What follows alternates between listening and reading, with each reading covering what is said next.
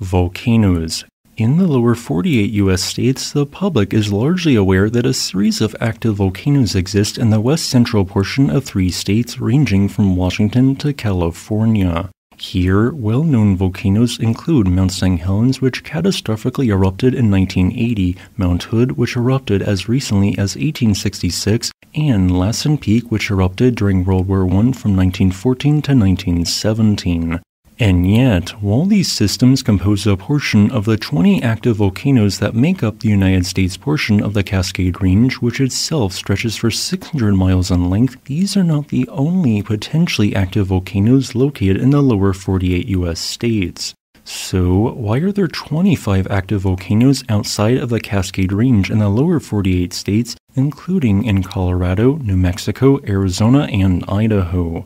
The answer is that there is actually more than a singular volcanic province in this region which allows volcanoes to erupt in a set area, with the actual total being 9 provinces.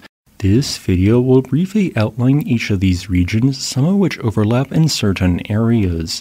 For example, five volcanoes are located on the raised Colorado Plateau, but only three of these, specifically Markagunt, the Uinkaret Volcanic Field, and the San Francisco Volcanic Field, can owe their existence purely to an unusual phenomenon referred to as a lithospheric drip. Since the lower crust in this region is unusually dense and thick, material pulled in the lithosphere like a drop of sap before detaching from the surrounding lithosphere. Then, large amounts of hotter material in the mantle rushed upwards to fill the empty space in what was previously a section of lithosphere, and this motion pushed the crust upwards. At the same time, magma intruded into weak points on the uplifted plateau, forming scattered volcanic fields on the surface.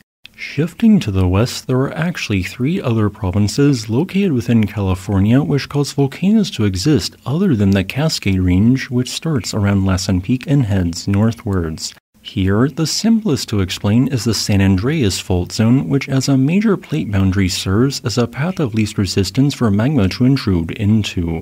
Since the Pacific Plate and North American Plate are sliding against one another in an uneven manner, sometimes what are known as pull apart basins form. Two such pull apart basins allowed volcanoes to form, specifically the Salton Buttes and Clear Lake volcanoes. In the case of Clear Lake, it is not the San Andreas Fault itself, but rather a strike slip fault related to its motion. However, while the San Andreas Fault accommodates the vast majority of motion associated with the aforementioned tectonic plate collision, a series of faults in eastern California known as the Walker Lane accommodates the other 25%. These faults also serve as a path of least resistance for magma to intrude into, allowing for the creation of one large caldera complex and three other nearby rhyolite rich volcanoes, which largely occur along a 33 mile long chain of activity. However, while included in the Walker Lane province, the Ubehebe craters could best be classified as within the Basin and Range province. This province is why large swaths of Nevada, western Arizona, eastern California, and other states have topography which largely looks the same. The area experiences slow extension, which creates a series of large fault lines in the crust, creating uplifted patches of land known as horst and subsided patches of ground known as grabens. Over millions of years, this process created many large mountain ranges and valleys. Upwelling mantle material then used these created faults as a path of least resistance, creating magmatic intrusions, some of which eventually erupted onto the surface, forming scattered but largely basaltic volcanic fields. Moving to the north, we have a province of volcanoes which infrequently erupt, but when they do erupt, generally produce voluminous basaltic eruptions which cover as much as 75 square miles and a layer of lava. What I'm referring to is called the high lava plains. Underneath Oregon, the Juan de Fuca plate is being subducted underneath the North American plate. The subducted crust from this collision then migrates upwards, creating the Cascade Range volcanoes. However, for an unknown reason, a portion of the subducted Juan de Fuca plate has recently driven downwards at a much steeper angle. This caused material deep in the mantle to rise upwards and fill the void, which caused a number of basaltic eruptions to occur. Moving towards eastern Idaho and Wyoming, we enter a province of volcanics dominated by the underlying Yellowstone hotspot centered in the Wyoming section of Yellowstone National Park. This hotspot, like many others, does not only produce volcanism where it is centered, but also in parts of its plume tail, albeit in a weaker manner when compared to the plume center and the direction of tectonic plate movement.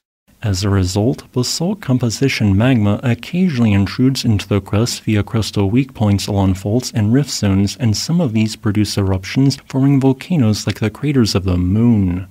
Meanwhile, the center of the Yellowstone hotspot is itself dominated by highly explosive rhyolitic eruptions.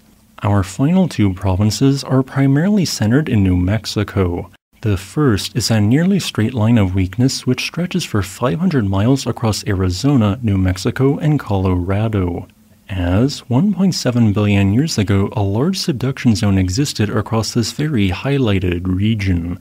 However, this subduction zone eventually suddenly shifted southwards, leaving large amounts of hydrous mineral rich oceanic crust in the upper mantle and lower crust. This lowered the temperature which rock can melt at, causing the region to act as a permanent weak spot that allows partial melting to occur. In contrast, the center of New Mexico is splitting apart at a very slow rate of one tenth of an inch every year to the east and west via what is known as the Rio Grande Rift.